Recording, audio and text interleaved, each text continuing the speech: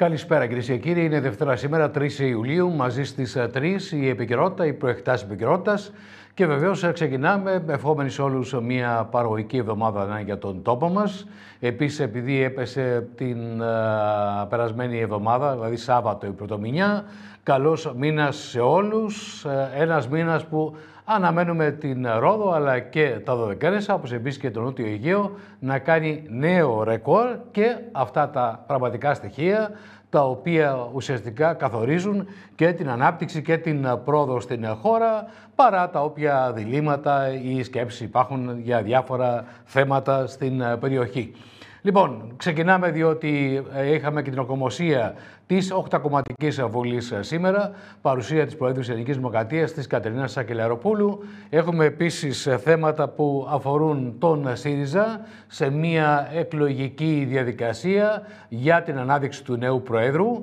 Έχουμε σημαντικά θέματα που αφορούν την εξέλιξη της τοπικής αυτοδιοίκησης, καθώς έχουμε ανακοινώσεις νέων ονομάτων και στην περιφέρεια Νοτιού Αιγαίου και έχουμε μία εβδομάδα η οποία αναμένεται ιδιαίτερως ενδιαφέρουσα. Όμως θα ξεκινήσουμε λίγο διαφορετικά στην σημερινή εκπομπή. Πάω να ξεκινήσουμε με τα τυπικά, τα διαδικαστικά, τα οποία όμως είναι απαραίτητα. 2-2-4-10-0-0-31-20 για τις δικέ σας παρεμβάσεις. Επίσης το email της εκπομπής μας είναι το μαζί στις 3 at gmail.com. Μέσα από τρεις μορφές μπορεί κανείς να παρακολουθεί το πρόγραμμα της ε, τηλεόρασης Αιγαίου, μέσα από την πλατφόρμα της Κοσμοτέ από το κανάλι 651, μέσα από το αντίστοιχο της DJ από το κανάλι 1023 και βεβαίως μέσα από το διαδίκτυο. Εκεί υπάρχει κεντρική ιστοσελίδα που είναι το aegeotv.gr. Υπάρχει πάντα η εφαρμογή του live streaming. Επαναλαμβάνω ότι έχουμε πολλά θέματα. Θα ξεκινήσουμε πολύ διαφορετικά σήμερα, διότι και από τη μία έχουμε καλοκαιράκι, από την άλλη έχουμε αυτές τις ημέρες να προβάλλεται στην χώρα η πέμπτη σειρά του Indiana Jones. Θα μου πείτε τι σε κόφτει τώρα, τι ε, κάνει ο Ίντι σε ηλικία 81 ετών, ο Χάρισον Φόρτ. Έχει πολύ μεγάλη σημασία, διότι αυτή η νέα ταινία αφορά την ουσία, ενός σημαντικού αρχαιολενικού επιτέγματος και λέω αρχαιολενικού έχοντας πάντα βάση ότι ενδεχομένως ο κατασκευαστής να είναι ένας από τους μεγάλους αστρονόμους αρχαιότητας. Θα τα συζητήσουμε.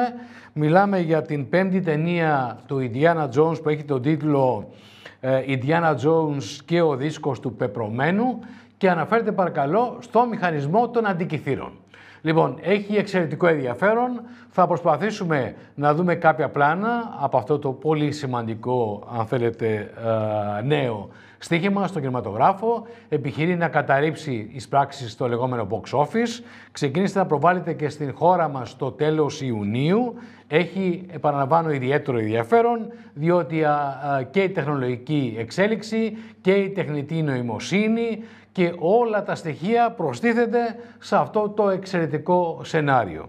Και πάμε να δούμε όλα αυτά, να δούμε και τα νεότερα σε ό,τι έχει να κάνει με το μηχανισμό των αντικειθήρων, αφού έχουμε την χαρά πραγματικά και την τιμή να φιλοξενούμε έναν άνθρωπο από τους πλέον ειδικούς, από τους ειδικότερους, από αυτούς που έχουν μελετήσει εδώ και πάρα πολλά χρόνια αυτή την ιστορία του μηχανισμού των αντικειθήρων. Είναι ο κύριος Ξενοφόντας Μουσάς. Ο κύριος Μουσάς είναι καθηγητής φυσικής του διαστήματος στο Πανεπιστήμιο Αθηνών και βέβαια ένας άνθρωπος τον οποίο συχνά πυκνά προσφεύγουμε για να μάθουμε όλα τα τελευταία δεδομένα. Καλησπέρα κύριε καθηγητά, ευχαριστώ θερμά για την αποδοχή της πρόσκλησης. Χαίρομαι που είμαστε μαζί ε, και σήμερα και απόψε και ιδιαίτερος για αυτό το πολύ σημαντικό ε, αντικείμενο, δηλαδή τον πρώτο υπολογιστή του κόσμου, όπως τον λέμε, και πολύ σωστά, για τον οποίο είχαμε την ευκαιρία να μιλήσουμε αρκετές φορές στο παρελθόν και από κοντά και από μακριά. Και τώρα, όπως πολύ σωστά είπατε, με το καινούριο φιλμ της σειράς του Indiana Jones, το πολύ γνωστό ε, σε όλους μας από τότε, για κάποιους από εσάς ασφαλώς από τότε που ήσασταν παιδιά φαντάζομαι το καιρό ήσασταν, τον Indie όπως τον λέμε Σωστά. έτσι χαϊδευτικά. Μεγάλωσα μόλι με τον Ίντι, έχω την αίσθηση. Πόσε δεκαετίες είναι ο Ίντι εδώ παρόν και κυρίως είναι αγέραστος, κύριε καθηγητά. Ναι, πάντοτε τον χαιρόμαστε και είναι πράγματι αγέρας όπως το λέτε και θα τον δείτε, αν δεν τον έχετε ήδη δει δηλαδή, στο σινεμά τώρα στο πέμπτο της σειράς. Ελπίζουμε να μην είναι και το τελευταίο, να κάνει και κανένα άλλο στη συνέχεια, που, καθώς είπατε, προβάλλει και τη Ρόδο, την Ελλάδα κατεξοχήν, ιδιαιτέρως μέσω του μηχανισμού των αντικειθήρων που γνωρίζουμε όλες και όλοι ότι υποψήφιος είναι ο ύπαρχος στη Ρόδο και ότι επιπλέον ο διάδοχος του, ο Ποσειδόνιος, είχε επίσης ένα τέτοιο μηχάνημα που οι Ρωμαίοι που έρχονταν και σπούδαζαν εδώ, όπως ο Κικέρον και πολλοί άλλοι ε, σημαντικοί στρατηγοί και αυτοκράτορες που ήρθανε, ε, τα είχαν δει και τα περιγράφουν.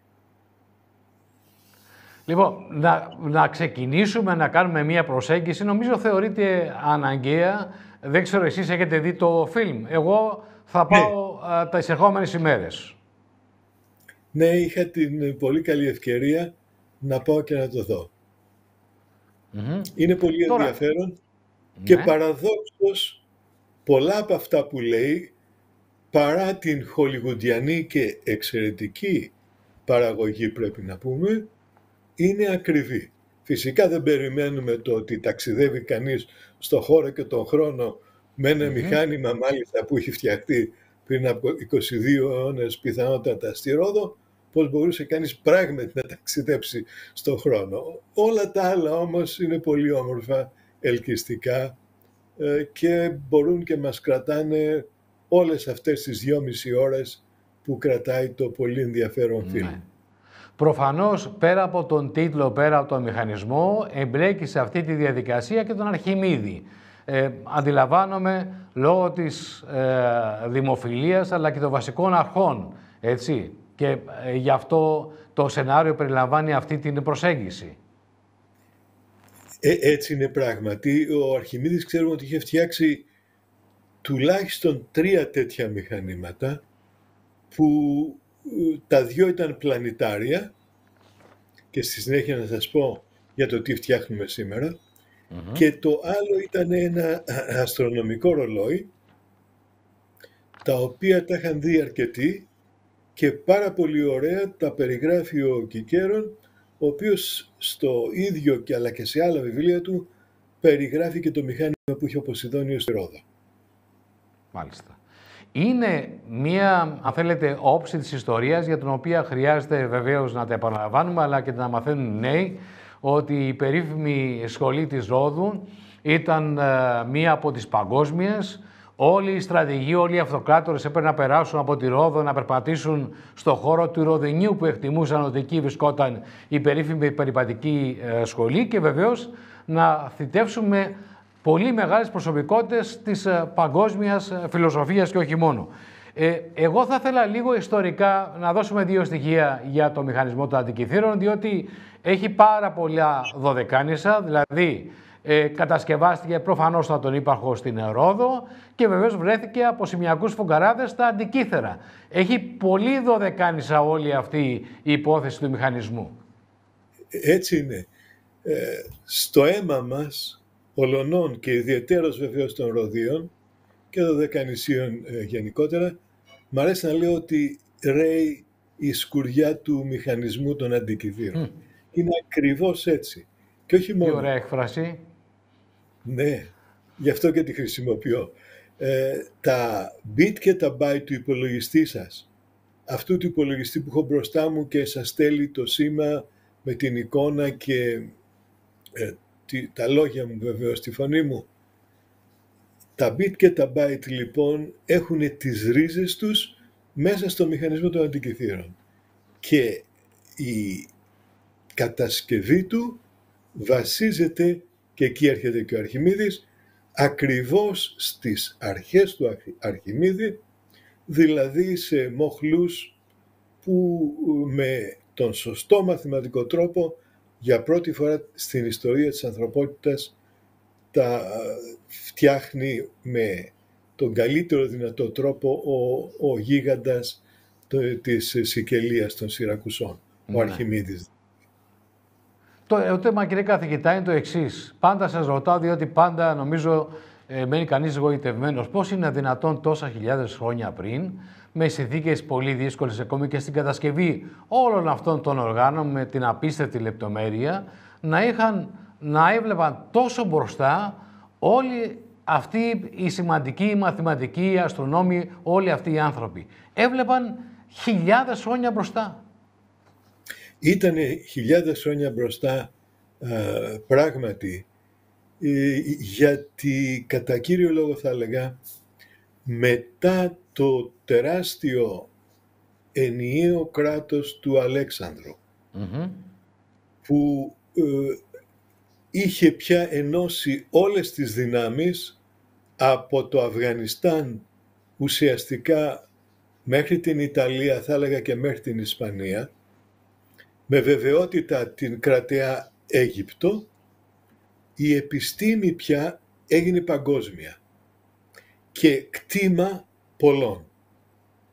Τα χρήματα, επειδή έπαψαν πια να έχουν πολέμους, πήγαιναν σε άλλες κατευθύνσεις. Αυτές που πρέπει πάντοτε να πηγαίνουν σε ανάπτυξη.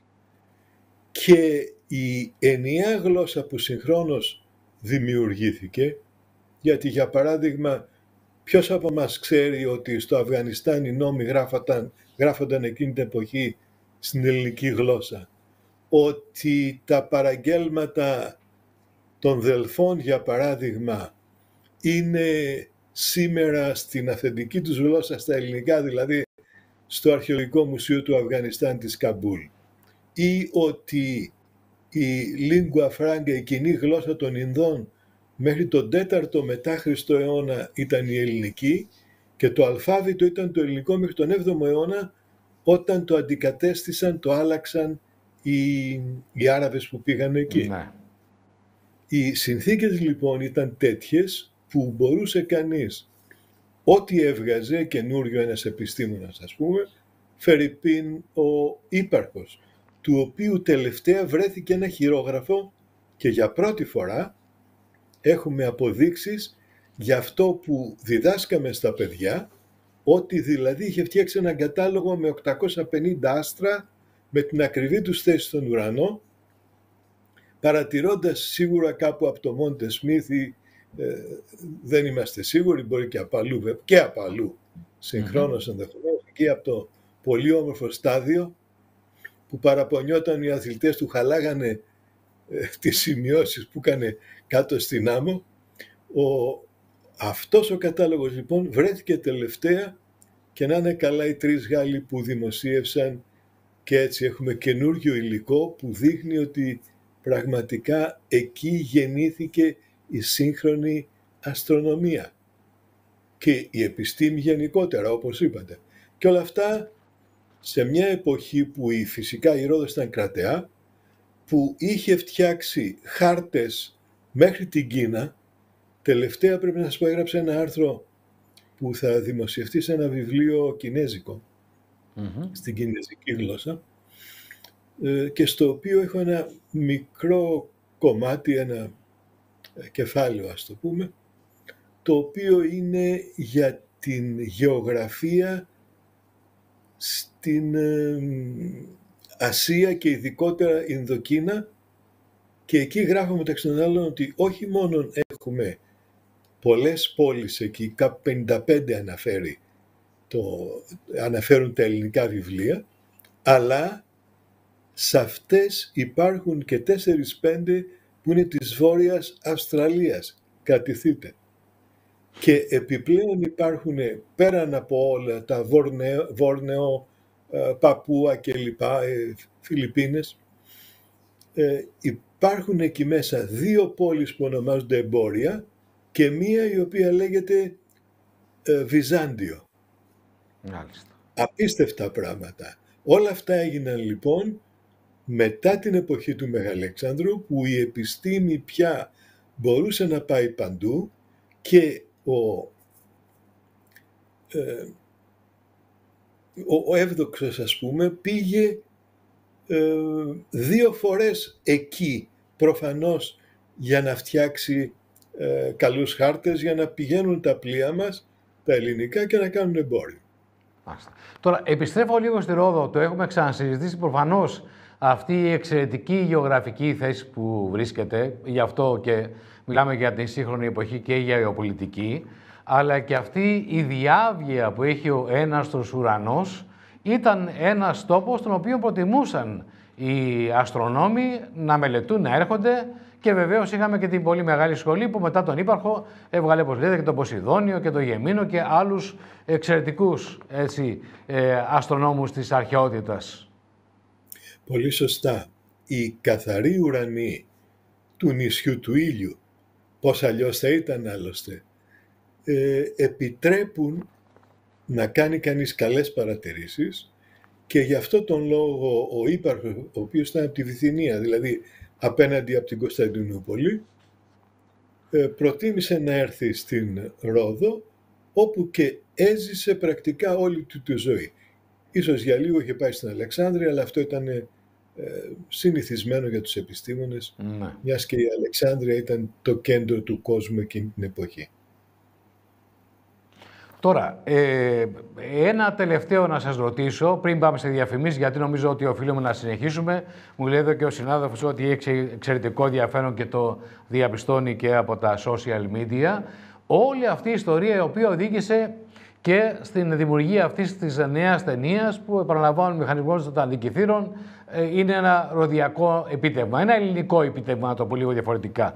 Ξεκίνησε όταν εσείς το 2004 ε, τρεις καθηγητές, ε, προχωρήσατε σε μία πιο ενδελεχή μελέτη έτσι, του μηχανισμού των αντικειθήρων, περνώντας τον από εκείνο τον αξονικό τομογράφο για να κάνετε τις εγκάρσιες τομές και να δείτε την κάθε λεπτομέρεια της κάθε πλευράς αυτού του ε, μηχανισμού, έτσι.